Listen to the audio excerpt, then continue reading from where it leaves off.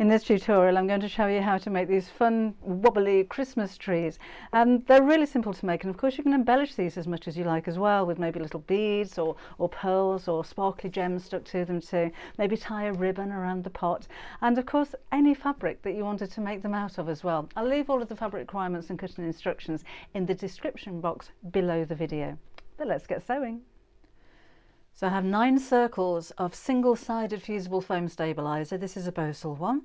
And my circles measure six inches, five and a half, five inches, four and a half, four inches, three and a half, three inches, two and a half, and two inches.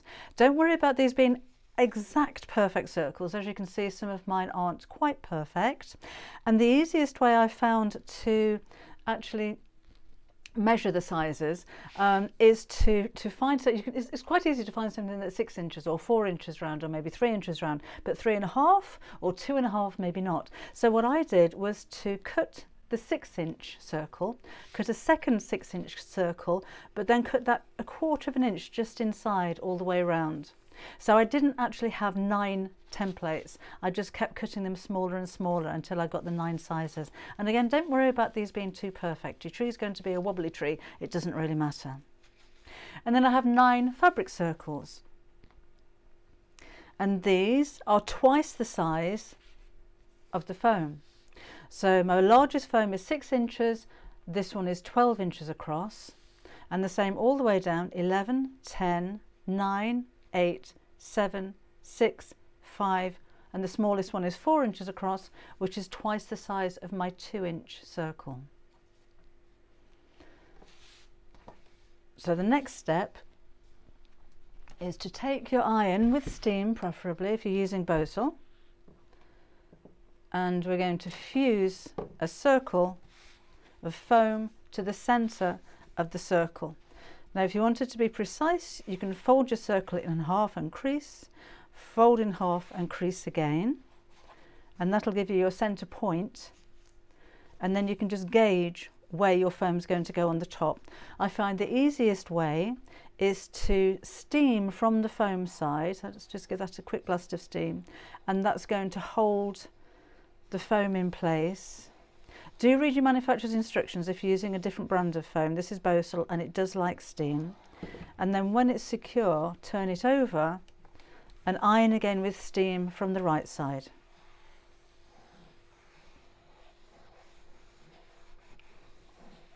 And we're going to do this with all nine pieces.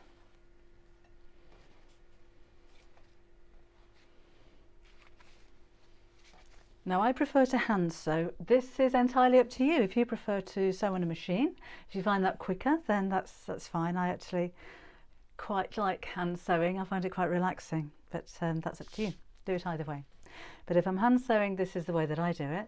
I'm just going to take my needle and thread and make a running stitch all the way around the edge and don't have to be too neat with these. They're about a quarter of an inch or six millimeters in length and just a little way away from the raw edge.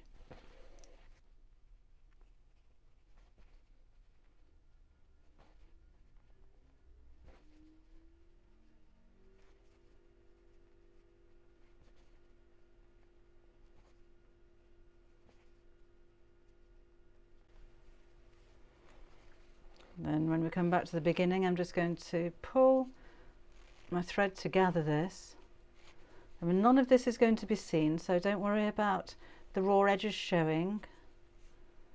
When it's pulled nice and tight, I'm just going to knot off my thread.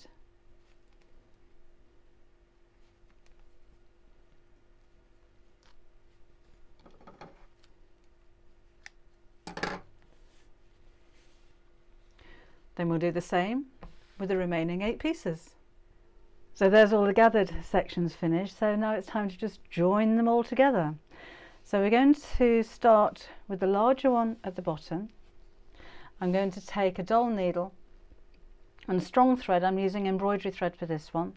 And I'm going to sew straight through the center of each one of these and we have the pleats facing upwards so we see those apart from the top one which is going to face downwards. So take your needle, and again, it doesn't have to be exactly central. Sometimes it's quite nice when it's not, because your tree looks even more wobbly. But if you wanted to measure and mark the centre, then that's entirely up to you. So let's just thread all of these on.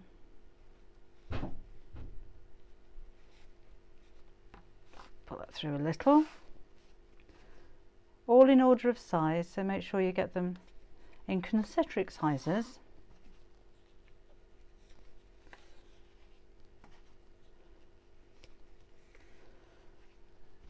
Final two.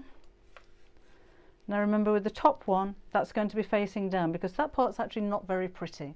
So you need to make sure that you get the nice side on the top. And you can see I've actually fussy cut my fabric, so I've got a leaf on the top. So through the centre here, then I'm also going to thread on my bead. That'll stop the thread coming through. And then at the side of the bead, I'm going to go back in and rethread the needle through the centre of each one of the discs.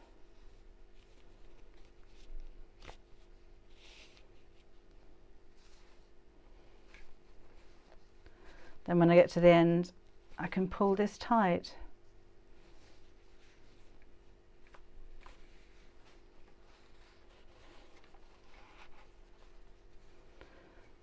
So don't make it too tight because we do want this to have a little bit of a wobble. So take the needle off there and then just tie this part into a knot.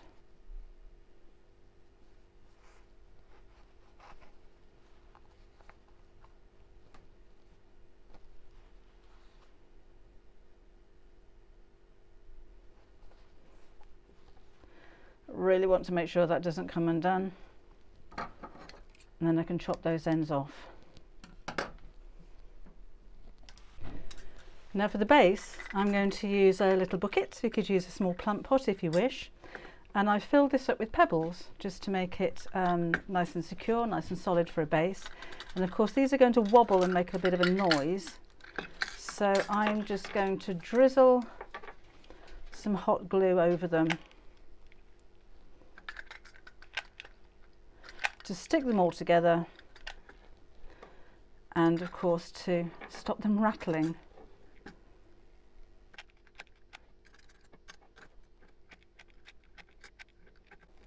Do.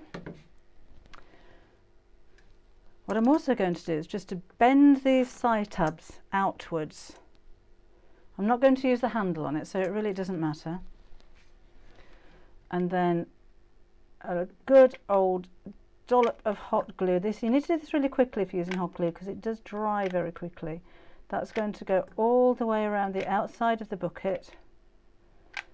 And then very quickly plonk my tree centrally over the top.